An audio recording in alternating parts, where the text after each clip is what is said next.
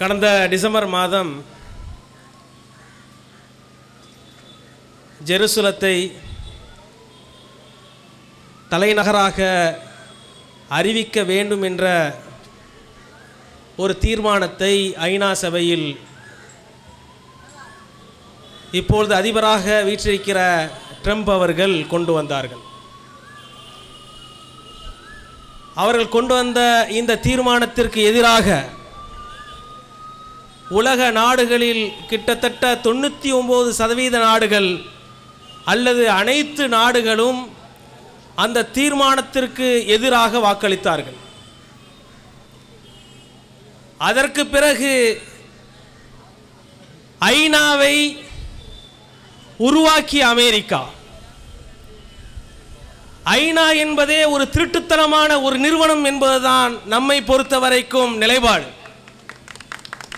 அது எப்பொழுதெல்லாம் உரிமைக்கான ஒரு போராட்டத்தை நடத்துகின்றார்களோ அந்த மக்களுடைய நியாய அநியாயங்களை எப்பொழுதும் பார்த்ததாக வரலாற்றில் எப்பொழுதும் இல்லை. அமெரிக்கா தனக்கான நியாயத்தை எப்பொழுது கொண்டு வர வேண்டும் அல்லது அதை தீர்க்கமாக நடைமுறைப்படுத்த வேண்டும் என்று நினைக்கின்றதோ அப்பொழுதெல்லாம் ஐநாவை மதிக்கும் ஐநா சொல்கின்ற அந்த கோட்பாட்டை ஏற்று நடக்கும் அல்லது அமெரிக்கா கொண்டு வருகின்ற அந்த தீர்மானத்தை ஐநா அப்படியே ஏற்று நடைமுறைப்படுத்தும். அதுதான் ஐநாவுடைய சபை. அப்படிப்பட்ட ஐநாவில் கொண்டு வந்த அந்த தீர்மானத்தை அனைத்து நாடுகளும் எதிர்த்தார்கள். எந்த நாடுகளும் ஜெருசலத்தில் தலைநகராக அறிவிக்க கூடாது என்ற நிலைப்பாடில் இந்தியா முதற்கொண்டு எடுத்தது. ஆனால் அமெரிக்கா என்ன செய்தது? உலக நாடுகள் யார் எதிர்த்தாலும் சரி. ஐநா சபையை எதிர்த்தாலும் சரி. யார் என்னை கேள்வி கேட்க முடியும் என்ற திமிர்த்தனமான ஒரு அயோக்கிய அரசாக நின்று இன்று ஜெருசலத்தில் ஜெருசல தலைநகரம் கொண்டு வருவதற்கு முன்னால் டெல்லவில் இருக்கக்கூடிய எங்களுடைய தூதரகத்தை நாங்கள் கொண்டு வருவோம் என்று திமிர்த்தனமாக கடந்த பதினாலாம் தேதி அவர்கள் கொண்டு வந்திருக்கின்றார்கள். அவர்கள் லேசாக நினைத்து கொண்டார்கள். பலஸ்தீன மக்கள் அமைதி காத்து விடுவார்கள் என்று நினைத்து கொண்டார்கள். பலஸ்தீன மக்கள் தங்களுடைய உரிமையை விட்டு கொடுத்து விடுவார்கள் என்று நினைத்து கொண்டார்கள். அல்லது பலஸ்தீன மக்களுடைய அந்த உரிமை நீண்டகால அந்த போராட்டம் அவர்கள் இழப்பதற்காகத்தான் வாய்ப்பு அளித்திருக்கின்றது என்ற ஒரு எண்ணம் கூட இருக்கும். இதற்கு மேலும் இவர்கள் போராடுவார்களா என்ற எண்ணத்தில் கூட இந்த திமிர்த்தனமான அந்த நடவடிக்கையை அமெரிக்கா செய்திருக்கின்றது. ஆனால் நாங்கள் சொல்கின்றோம் வரலாற்றில் எங்கும் காணாத அளவிற்கு மூணாவது தலைமுறையும் போராடக்கூடிய ஒரு நாடு இருக்கின்றது என்றால் ஒரு மண் இருக்கின்றது என்றால் பாலஸ்தீன மண். அங்கு உள்ள வயிற்றில் இருக்கிற குழந்தையும் போராடுகிறது. அங்கு வயிற்றில் ஜனித்திருக்கின்ற இன்று ஜனித்திருக்கின்ற அந்த குழந்தையும் தன்னுடைய தாய்க்கு ஒரு உணவை ஏற்படுத்துகின்றது. நீ போராடு அல்லது செத்துமடி அதில் நானும் செத்து மடிகிறேன் என்று அந்த தாய்க்கு அவர் சொல்கின்றது. அப்படிப்பட்ட ஒரு போராட்டம் என்பதை நீங்கள் மறந்துவிடக்கூடாது அன்பிற்கினிய தோழர்களே இன்று அவர்கள் நினைத்து கொண்டார்கள் பலஸ்தீனத்தை முழுமையாக அபகரித்துக் கொள்ளலாம் என்று. அயோக்கியர்கள் நினைக்கக்கூடிய அந்த எண்ணம். மிக கீழ்த்தரமானவர்கள் நினைக்கக்கூடிய அந்த எண்ணம். ஏனென்றால் உலகத்தில் யூதர்களுக்கு வேறு எங்குமே நாடு கிடையாது. அவர்கள் அலைகழிக்கப்பட்டார்கள். அவர்கள் ஒடுக்கப்பட்டார்கள். சிறுபான்மையின மக்களாக அவர்கள் பார்க்கப்பட்டார்கள். சந்தேக கண்ணோடு பார்க்கப்பட்டார்கள். ஹிட்லர் ஏன் யூதர்களை அழித்து ஒழித்தான். ஜெர்மன் தோல்விக்கு இந்த யூதர்கள் தான் காரணம். சொந்த மண்ணில் இந்த சொந்த மண்ணை பாதுகாப்பதற்கு தவறிவிட்ட இந்த யூதர்கள் தான் காரணம் என்று ஹிட்லர் தீர்மானமாக அவன் நினைத்தான். அதனால தான் ஒரு யூதன் கூட இருக்கக்கூடாதுன்னு அழிச்சான். எங்களுக்கு உடன்பாடு இல்லை. எந்த யூதர்களையும் அழிப்பதற்கு எங்களுக்கு உடன்பாடு இல்லை.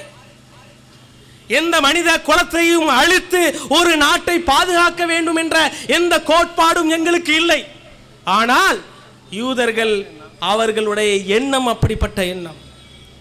யூதர்கள் எப்பொழுதும் பின்வாசல் வழியாகவே எதையும் செய்வார்கள். சதி திட்டத்தின் மூலமாகவே அத்தனையும் ஆக்கிரமிக்கலாம் என்று எண்ணுவார்கள். அந்த ஆக்கிரமிப்பு அந்த சதி திட்டம் சொந்த நாட்டைக்கு எதிராகவே காட்டி கொடுக்கக்கூடிய ஒரு துரோகிகளாக இருந்ததின் காரணமாகத்தான் அன்று ஜெர்மன் என்ன செய்தது? ஜெர்மனை ஆண்ட அந்த ஹிட்லர் என்ன செய்தான்? அத்தனை மக்களையும் யூதர்களையும் கொன்றொழித்தான். எங்குமே வசிக்க முடியாத ஒரு சூழல். யூதர்களுக்கு ஒரு நாடு இதுவரைக்கும் வரலாற்றில் இல்லை. ஆயிரத்தி தொள்ளாயிரத்தி நாற்பத்தி எட்டாம் ஆண்டுதான் அவர்களுக்கான ஒரு நாடு ஐநாவில் அங்கீகரிக்கப்பட்டது. உலக நாடுகள் அத்தனையும் எதிர்த்தது. ஐரோப்பாவும் அமெரிக்காவும் மட்டுமே ஆதரித்தது. உலக நாடுகளில் இருக்கக்கூடிய அத்தனை ஜனநாயக நாடுகளும் எதிர்த்தது. இந்தியா முதற்கொண்டு எதிர்த்தது. நாடு வரக்கூடாது என்று சொன்னது. அது பலஸ்தீன மக்களுக்கான உரிமை பூமி என்று சொன்னது. எப்படி இவர்கள் குடியேறினார்கள்? ஆயிரத்தி தொள்ளாயிரத்தி பதினாலாம் ஆண்டு பதினேழாம் ஆண்டு வரைக்கும் நடைபெற்ற அந்த முதல் உலக யுத்தத்திலேயே இவர்கள் திட்டம் தீட்டி விட்டார்கள். அவர்கள் ரகசியமாக கூடி குழாய் விட்டார்கள். ஐரோப்பாவோடு அவர்கள் நெருங்கிய உறவு வைத்திருந்ததின் காரணமாக அவர்களோடு என்ன செய்து கொண்டார்கள்? உடன்படிக்கை செய்து கொண்டார்கள். ஆனால் அப்பாவி பலஸ்தீன மக்கள் இதை அறியாமல் இருந்தார்கள். தன்னுடைய சொந்த சகோதரனை போல் ஓடோடி வந்த அந்த யூதர்களுக்கு அரவணைப்பு செய்தார்கள். அந்த யூதர்களுக்கு இடமளித்தார்கள். அந்த யூதர்களுக்கு உணவளித்தார்கள். இருக்க இடம் கொடுத்தார்கள். வசிக்க அவர்களுக்கான இருப்பிடத்தை உறுதி செய்து கொடுத்தார்கள். தொழில் ரீதியாக உதவி செய்தார்கள்.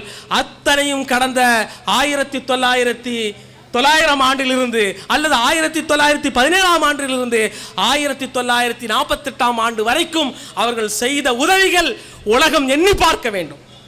அவர்களை போற்ற வேண்டும். அந்த பலஸ்தீன மக்களை அவ்வளவு உதவி செய்திருக்கின்றார்கள். ஆனால் இவர்கள் துரோகிகள் என்ன செய்தார்கள் தெரியுமா? அந்த இருப்பிடங்கள் எங்கெங்கெல்லாம் இம்பு இப்பொழுது இந்தியாவில் முஸ்லிம்களுக்கு எதிராக எதை நடைமுறைப்படுத்தி கொண்டிருக்கின்றார்களோ இந்த பாசிச பயங்கரவாதிகள் அதே தான் அன்று செய்து காட்டினார்கள். அந்த யூத மக்களுக்கு இடமளித்த ஒரு தெருவில் எல்லாருமே முஸ்லீமாக இருப்பான். அல்லது அந்த நாட்டுடைய கிறிஸ்துவனாக இருப்பான். பலஸ்தீனில் மக்கள் அந்த உரிமைக்கான அந்த போராட்டத்தை நடத்துகின்றார்களே அது அங்குள்ள முஸ்லிம்களுடைய போராட்டம் மட்டுமல்ல. பலஸ்தீனத்தில் வாழுகின்ற அத்தனை தேசிய இனத்துடைய போராட்டமாக அங்கு பார்க்கப்படுகிறது. அங்கு அவர்களுக்கு அடைக்கலம் கொடுக்கப்பட்ட அதே தெருவில் இவர்கள் திடீர்னு கலவரத்தை ஏற்படுத்துவார்கள். பக்கத்து வீட்டில் தாக்குதலை நடத்துவார்கள். இரவு நேரத்தில் தாக்குதலை நடத்துவார்கள். அந்த தெருவை விட்டே முஸ்லீம்கள் அச்சத்தோடு இனி இங்கே வாழவே முடியாதுன்னு சொல்லிட்டு பலஸ்தீன மக்கள் சொந்த பூமியில் வாழக்கூடிய மக்கள் அவர்கள் இருப்பிடத்தை மாற்றிக்கொண்டே இருந்தார்கள். இப்படியாகத்தான் அவர்கள் ஆயிரத்தி தொள்ளாயிரத்தி நாற்பத்தேழு வரைக்கும் அந்த ரகசிய உடன்படிக்கை வெளியே தெரியாத வரைக்கும் இருந்த அந்த காலத்திலே இவர்கள் அந்த பலஸ்தீன மக்களுடைய அப்பாவிடுத்தனத்தை பயன்படுத்தி அவருடைய நல்ல எண்ணத்தை பயன்படுத்தி அத்தனை பலஸ்தீன மக்களுடைய இருப்பிடத்தையும் காலி செய்தார்கள். ஆயிரத்தி தொள்ளாயிரத்தி நாற்பத்தெட்டாம் ஆண்டு ஐநாவிலே இவர்களுக்கான அங்கீகாரம் வழங்கப்படுகிறது. இஸ்ரேல் என்ற நாடு உருவாக்கப்படுகிறது. இவ்வளவு நேசித்த அந்த மக்களை இந்த உலக நாடுகள் எல்லாம் அடித்து துரத்திய அடித்து துரத்திய அந்த தினத்திலே உங்களுக்கு ஆதரவித்த அந்த மக்களை இன்று கொன்று கொளிக்கக்கூடிய மிக கீழ்த்தரமான ஒரு ஜந்து இந்த உலகத்தில் இருக்கின்றது என்றால் அது இன்று இஸ்ரேலை ஆண்டு கொண்டிருக்கக்கூடிய இஸ்ரேலர்கள் என்பதை மறந்துவிடக்கூடாது. இந்த வரலாற்றை நாம் எப்பொழுதும் மக்கள் மன்றத்திலே பதிவு செய்ய வேண்டிய கடமை நமக்கு இருக்கின்றது. இல்லை என்றால் ஒரு நூற்றாண்டு கடந்த பிறகு பலஸ்தீன மக்கள் வந்தேர்கள் என்று இவர்கள் வரலாற்றை மாற்றி அமைக்கக்கூடிய வாய்ப்பு இருக்கின்றது என்பதை நாம் இத்தருணத்திலே நாம் வைத்துக் கொள்ள வேண்டும். அன்பிற்கினிய சகோதரர்களே அந்த உரிமைக்கான ஒரு போராட்டத்தில் தான் இன்று பலஸ்தீன மக்கள் தொடர்ந்து போராடி கொண்டிருக்கின்றார்கள். ஆயிரத்தி தொள்ளாயிரத்தி நாற்பத்தெட்டாம் ஆண்டு இஸ்ரேலுக்கு அன்று வாக்களிக்கப்பட்ட அந்த பூமி ஐநா சபையில் அறிவிக்கின்ற போது ஒரு அநியாயத்தை ஐநா சபை செய்தது. வெறும் ஆறு சதவீதம் மட்டும்தான் யூதர்கள் அப்பொழுது இருந்தார்கள். ஆனால் ஆறு சதவீதம் இருந்த அந்த யூதர்களுக்கு ஐம்பத்தி மூணு சதவீத நிலப்பரப்பை அன்று தாரை வார்த்து கொடுத்தது ஐநா சபை. அதனால தான் ஐநா சபையை நான் சொன்னது அயோக்கியத்தனமான சபை என்று சொன்னேன். அது அயோக்கியத்தனமான சபை. சொந்த நாட்டு மக்களுடைய அந்த வாழ்வாதாரத்தை அளிப்பதற்கு ஒத்து ஊதியது உதவி செய்தது அந்த மக்களுடைய போராட்டத்தை ஒடுக்குவதற்கான எல்லா முயற்சியும் செய்தது. அமெரிக்கா போன்ற ஏகாதிபத்திய நாடுகள் அது வைக்கின்ற அந்த கோரிக்கையை எப்பொழுதும் ஐநா சபை மறுக்காமல் அதற்கு உதவி செய்யக்கூடிய மிகப்பெரிய அநியாயத்தும் செய்த இந்த அயோக்கிய ஐநா சபை அன்று ஐம்பத்தி மூணு சதவீத நிலப்பரப்பை அன்று ஒதுக்கி கொடுத்தது. மீதி இருக்கக்கூடிய பலஸ்தீன மக்கள் வெறும் நாற்பத்தி மூணு சதவீத நிலப்பரப்பில் வாழக்கூடிய மிக மோசமான சூழலில் உருவாயிரு ஆனால் இன்று என்ன சூழல்? எழுபத்தைந்து சதவீத நிலத்தை இன்று யூதர்கள் அபகரித்துக் கொண்டார்கள். வந்தேரிகள் அபகரித்துக் கொண்டார்கள். வாழ்வாதாரமே அழிக்கப்பட்ட சூழலில் உலகம் முழுவதும் அலைந்து திரிந்து எனக்கு ஒரு இடம் தாருங்கள் என்று கெஞ்சு கூத்தாடி அந்த கூத்தாடிகள் என்று எழுபத்தைந்து சதவீத நிலப்பரப்பை அபகரித்துக் கொண்டார்கள். ஆனால் சொந்த மண்ணுக்கு உரிமை கொண்டாடுகிற அந்த பலஸ்தீன மக்கள் சொந்த மண்ணை இழந்துவிட்ட அந்த உரிமை போராட்டத்தில் ஈடுபட்டு கொண்டிருக்கக்கூடிய அந்த பலஸ்தீன மக்கள் வெறும் நாற்பத்தி மூணு சதவீத நிலப்பரப்பை மட்டும் அன்றைய தினத்தில் பெற்றார்கள். இன்று வெறும் இருபத்தைந்து சதவீதமாக மாறிவிட்டது. இப்பொழுது என்ன ஆனது? கிழக்கு காசாவை அவர்கள் அபகரித்துக் கொண்டார்கள். இப்பொழுது அதையும் தாண்டி இப்பொழுது நாங்கள் இந்த ஜெருசலத்தை நாங்கள் தலைநகராக ஆக்கப் போகின்றோம் என்று சொல்கின்றார்கள். பலஸ்தீன மக்கள் விழித்துக் கொண்டார்கள். அதற்கு பிறகு இந்த நாடேரிகளை வந்தேரிகளுக்கு எதிராக மிகப்பெரிய ஒரு போராட்டத்தை நடத்தி கொண்டிருக்கின்றார்கள் இன்று. பலஸ்தீன மக்களுடைய அந்த நெஞ்சுரத்தை நாம் எல்லாம் பாராட்ட வேண்டும். ஐரோப்பிய நாடுகளும் அமெரிக்காவும் எந்த நாட்டுக்கு உதவி செய்து கொண்டிருக்கின்றது? இஸ்ரேலுக்கு உதவி செய்து கொண்டிருக்கின்றது. இஸ்ரேலை பொறுத்த வரைக்கும் அழிவுக்கான அனைத்து ஆயுதங்களையும் தன்னுடைய கையில் வைத்திருக்கக்கூடிய ஒரு நாடு. ஆட்சி அதிகாரத்தை தாண்டி உலக நாடுகள் அத்தனையும் மிரட்டி வைத்திருக்கக்கூடிய ஒரு நாடு. உலக நாடுகளில் எங்கு அமைதியின்மை நிலவுகின்றதோ எங்கெல்லாம் மிகப்பெரிய ஒரு மோசமான நிகழ் நிகழ்கின்றதோ அதற்கெல்லாம் காரணமாக யார் இருப்பார்கள் என்றால் பின்னால் அது இஸ்ரேல் தான் இருக்கும். அப்பேற்பட்ட ஒரு நாட்டுக்கு எதிராக ஒரு சொற்பமான மக்கள் இன்று போராடி கொண்டிருக்கின்றார்கள். உலக நாடுகள் வேடிக்கை பார்த்து கொண்டிருக்கின்றது. ஐநா கள்ள மௌனம் சாதித்துக் கொண்டிருக்கின்றது. உலகத்தில் இருக்கக்கூடிய ஜனநாயக நாடுகள் என்று சொல்லக்கூடிய அத்தனை நாடுகளும் இன்று மௌனம் காத்து கொண்டிருக்கின்றது. இவ்வளவு மோசமான ஒரு சூழலில் கூட தன்னுடைய உரிமையை இழந்துவிடக்கூடாது வரக்கூடிய சந்ததியை நாம் அகதிகளாக விட்டுவிடக்கூடாது என்ற அடிப்படையில் அந்த மக்கள் தன்னுடைய உரிமைக்கான ஒரு போராட்டத்தை இன்றும் நடத்தி கொண்டிருக்கின்றார்கள். அந்த மண்ணை தோண்டி எடுத்து பார்த்தால் அங்கு கீழ் தண்ணீர் இருக்காது. இரத்த ஆறுகள் தான் ஓடிக்கொண்டு யாருடைய இரத்தம்? அந்த மண்ணில் இன்று பிறந்த குழந்தைகளுடைய இரத்தம் முதற்கொண்டு பெண்களுடைய மு- இரத்தம் முதற்கொண்டு பெரியவர்கள் ரத்தம் முதற்கொண்டு வாலிபர்கள் ரத்தம் முதற்கொண்டு அத்தனை இரத்தங்களும் இன்று அந்த பூமிக்கடியில் விதைக்கப்பட்டிருக்கின்றது. அந்த பூமியில் இருக்கக்கூடிய அனைத்து பலஸ்தீன மக்களும் படுகொலை செய்யப்பட்டாலும் அந்த ரத்தத்தில் விளைகிற ஏதாவது ஒரு ஒரு பொருளை உண்டாலும் அவனுக்கும் நிச்சயமாக வீர வரும் என்ற அடிப்படையில் அவர்கள் அந்த பூமியில் இரத்தத்தை சிந்திருக்கின்றார்கள் அதனால் அவர்கள் இலகுவாக வீழ்த்திவிட முடியாது. எவ்வளவு பெரிய சாம்ராஜ்யம் வந்தாலும் வீழ்த்திவிட முடியாது. இவர்களால் இரண்டு இன்திபாக்களை இவர்களால் தாங்கிக் கொள்ள முடியவில்லை. போருடைய போரை இவர்கள் டிக்ளேர் செய்யாமலே நடத்தினார்கள் யூதர்கள். அங்குள்ள இஸ்ரேல்கள் ஆயிரத்தி தொள்ளாயிரத்தி எண்பத்தேழில் மிகப்பெரிய மக்கள் எழுச்சி போராட்டம் நடந்தது. அதான் இன்திபா முதல் இன்திபா என்று சொல்லப்படுகிற அந்த மிக பெரிய மக்கள் எழுச்சி போராட்டம். அந்த எழுச்சி போராட்டத்தில் இவர்கள் மண்டியிட்டு விட்டார்கள். நாங்கள் போர் நிறுத்தத்தை கொண்டு வருகின்றோம் என்று சொன்னார்கள். ரெண்டாயிரத்தி ரெண்டில் இதே போன்ற இரண்டாவது இன்திபா நடந்தது. அதிலும் இவர்கள் அச்சத்தோடு பயத்தோடு இன்று இஸ்ரேலர் இஸ்ரேலர்களுக்கு இந்த நாடும் இந்த பூமியும் சொந்தம் இல்லாமல் போய்விடும் என்ற அச்சத்தில் அவர்கள் அடிபணிந்தார்கள்.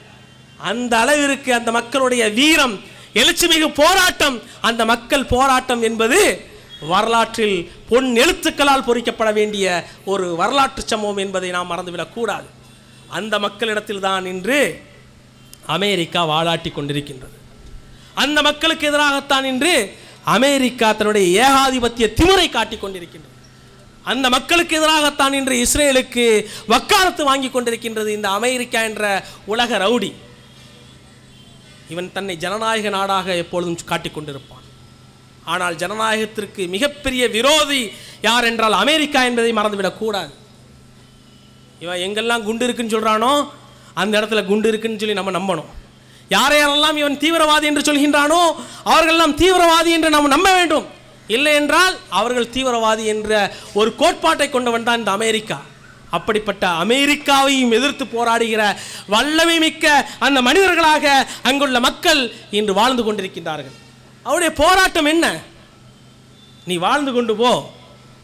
வந்தவர்களை வாழ வைக்கக்கூடிய பூமி நாங்கள் இதுதான் வரலாற்று பூர்வமாக எல்லா காலங்களிலும் செய்திருக்கின்றோம்.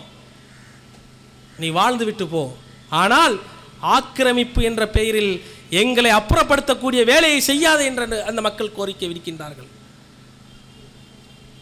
எங்களுடைய நிலங்களை மீண்டும் நாங்கள் எங்களுக்கு தர வேண்டும் என்ற ஒரு மகத்தான ஒரு போராட்டத்தை முன்வைக்கின்றார்கள். இது ஒரு உரிமை போராட்டம். இந்த உரிமை போராட்டத்தை தான் இன்று ஒடுக்கும் விதமாக இன்று அந்த பலஸ்தீன மக்கள் மீது இந்த இராணுவத்தை ஏவிவிட்டு படுகொலை செய்திருக்கின்றது. ரெண்டாயிரத்தி எழுநூறுக்கும் மேற்பட்ட அந்த மக்கள் இன்று காயங்களோடு தன்னுடைய போராட்டத்தை நிறுத்தாமல் தொடர்ந்து கொண்டிருக்கின்றார்கள். எழுபது மக்கள் படுகொலை செய்யப்பட்டிருக்கின்றார்கள் இதுவரைக்கும். ஆனால் இவருடைய போராட்டம் நிறு நிறுத்தப்படக்கூடிய ஒரு போராட்டமாக இல்லை. கடந்த மே மாதம் முப்பதாம் தேதியில் இருந்து ஆறு வார ஆறு வார காலமாக மே பதினைந்தாவது தேதி வரைக்கும் நடக்கக்கூடிய மிகப்பெரிய எழுச்சி போராட்டத்தில் மக்கள் எழுச்சியோடு வீடையெல்லாம் காலி செய்துவிட்டு கூடாரத்தை அமைத்து கொண்டு இன்று போராட்டத்தில் தன்னை ஈடுபடுத்தி கொண்டிருக்கின்றார்கள். இந்த குண்டு வெடிப்புகள் இவர்கள் மீது நடத்தப்படுகிற தாக்குதல்கள் எதை பற்றியும் இவர்கள் கவலைப்படாமல் போராடுகின்றார்கள். அப்படிப்பட்ட அந்த போராட்ட மக்களுக்கு நாங்கள் வாழ்த்தினை சொல்கின்றோம் பாப்புலர் ஃப்ரெண்ட் ஆஃப் இந்தியாவின் சார்பாக. உலக முஸ்லிம்களின் சார்பாக நாங்கள் வாழ்த்துக்களை சொல்கின்றோம். நேர்மைக்கும் நீதிக்கும் போராடுகிற அந்த மக்களின் சார்பாக அந்த மக்களுக்கு நாங்கள் வாழ்த்தினை சொல்கின்றோம். உங்களுடைய போராட்டம் எப்பொழுதும் வெல்லும் வெல்லும் என்பதை நாங்கள் தருணத்தில் வாழ்த்தோடு பிரார்த்தனையும் நாங்கள் செய்கின்றோம். உங்களோடு நாங்கள் எப்பொழுதும் நிற்போம். பாப்புலர் ஃப்ரெண்ட் ஆஃப் இந்தியாவை பொறுத்த வரைக்கும் எங்கெங்கெல்லாம் பாதிக்கப்பட்டு கொண்டிருக்கின்றார்களோ உரிமைக்கான போராட்டத்தில் எந்த மூளை முடுக்கையில் இருக்கின்றார்களோ அந்த மக்களுடைய உரிமையை பெற்றெடுப்பதற்கான ஒரு போராட்டத்தில் பாப்புலர் ஃப்ரண்ட் ஆஃப் இந்தியாவுடைய குரல் எப்பொழுதும் இருக்கும். அதே போன்று உங்களுக்கும் எங்களுடைய குரல் எப்பொழுதும் இருக்கும். நாங்கள் இங்கிருந்து என்ன செய்ய முடியும்? சாதிக்க முடியும் எங்களால். எங்களுடைய ஒவ்வொரு தோழர்களும் நினைத்தால் வீடு வீடாக செல்வார்கள். ஒவ்வொரு மக்களிடத்திலும் இந்த வரலாற்று உண்மைகளை சொல்வார்கள். உண்மைகளை சொல்லி மக்களை வீதிக்கு அழைப்பார்கள். உங்களுடைய போராட்டத்தை வெல்ல வைப்பதற்கு இங்கு ஆட்சி அதிகாரத்தில் இருக்கக்கூடிய அரசுடைய எண்ணங்களையே மாற்றக்கூடிய வலிமை மிக்க ஒரு போராட்டத்தை நாங்கள் நடத்துவோம். நிச்சயமாக உங்களுடைய கோரிக்கை நிச்சயமாக வெல்லும். உங்களுடைய நிலங்கள் மீண்டும் அதே இடத்தில் மீட்டெடுக்கப்படும். இந்த அகதிகளாக ஐம்பது லட்சம் பேர். அண்ட் ஆயிரத்தி தொள்ளாயிரத்தி நாற்பத்தி எட்டில் ஏழு ஏழரை லட்சம் பேர் அகதிகளாக ஆக்கப்பட்டார்கள். இன்று ஐம்பது லட்சம் பேர் அகதிகளாக சொந்த நாட்டில் காசா மண்ணில் அவர்கள் அவருடைய உரிமையை பெற முடியாத சூழல் இருக்கின்றார்கள். சுத்தமான சுகாதார நீர் அவர்களுக்கு கிடைக்கவில்லை. இவ்வளவும் செய்கிறது இந்த இஸ்ரேல் இராணுவம். இஸ்ரேல் அரசு என்ன செய்கின்றது? இவர்கள் நீரை கொடுத்தால் தானே வாழ்வார்கள் என்ற அடிப்படையில் சுத்தமான நீரை நிறுத்திவிட்டார்கள். ஐநா சபை கேட்டுக்கொண்ட பிறகு கூட சுத்தமான நீர் அவர்களுக்கு வழங்கப்படவில்லை. குடிநீர் மட்டுமல்ல ஒவ்வொரு நாளும் அவர்கள் தேவையை பூர்த்தி செய்வதற்காக உபயோகப்படுத்தக்கூடிய மின் மின்சாரம் என்பது அவர்களுக்கு துண்டிக்கப்பட்டிருக்கின்றது. வெறும் நாலு மணி நேரம் தான் அவங்களுக்கு ஒவ்வொரு நாளும் மின்சாரம் வழங்கப்படுகிறது. அது மட்டுமல்ல போராடி செத்து மடிகிற லட்சக்கணக்கான ஆயிரக்கணக்கான என்னுடைய சொந்தங்கள் இன்று மருத்துவம் இல்லாமல் அவர்கள் மடிகின்ற மிக மோசமான சூழல் உருவாகியிருக்கின்றது. மருத்துவம் கூட கிடைக்கக்கூடாது என்கிறதில் உறுதியாக இருக்கின்றார்கள் இந்த இஸ்ரேலிய அரசு என்பதை மனதில் கொள்ள வேண்டும். இதற்குத்தான் ஆதரவு தெரிவிக்கின்றது இன்றைய ரவுடி அமெரிக்க அரசு.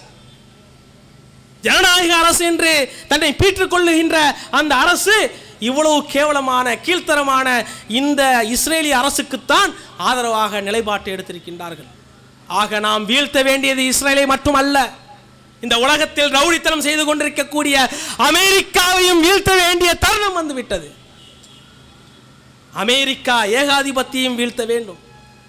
இஸ்ரேல் என்ற அந்த நாடு மீண்டும் வரலாற்றில் ரெண்டாயிரத்தி நாற்பத்தேழு அல்லது ரெண்டாயிரத்தி ஐம்பத்தேழுல இருக்கக்கூடாது வரைபடத்திலே. அந்த மக்கள் வாழ்ந்து விட்டு போகட்டும். அந்த மக்களுக்கு நாங்கள் அடைக்கலம் தருகின்றோம். ஆனால் இஸ்ரேல் என்ற நாடு இருக்கக்கூடாது. மீண்டும் பழைய வரலாற்றை நாமங்கள் உருவாக்க வேண்டும் என்பதில் உறுதியான நிலைப்பாட்டோடு அந்த மக்களுக்காக பாப்புலர் ஃப்ரண்ட் ஆஃப் இந்தியா எப்பொழுதும் தன்னுடைய போராட்ட குரலை ஒழித்து கொண்டே இருக்கும். அவர்களுக்காக போராடும் அந்த சிறு சிறு குழந்தைகளுடைய அந்த கல்லில் இருக்கின்ற அந்த கற்களுடைய அந்த வீரத்தை தாங்க முடியாமல் அந்த தாக்குதலை தாங்க முடியாது முடியாமல் ஓடி விழுகின்ற அந்த இஸ்ரேல் நிச்சயமாக அழியும். அந்த அழிவுக்கு காரணமாக பாப்புலர் ஃப்ரண்ட் ஆஃப் இந்தியாவும் நிலைப்பாட்டை எடுக்கும் என்று கூறிக்கொண்டு வாய்ப்புக்கு நன்றி கூறி விடைபெறுகின்றேன். நன்றி.